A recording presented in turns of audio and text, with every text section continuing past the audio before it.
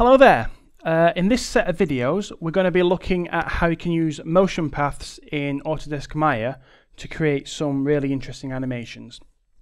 So what we're going to look at is how you can use something as simple as a motion path and then put that together with um, an animation technique which is useful called parenting to get some quite good looking results without having to put a lot of work in.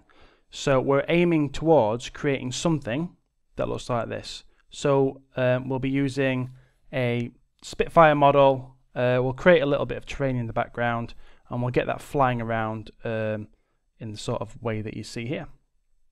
Okay, if that sounds like something you want to be doing, get yourself into the next video.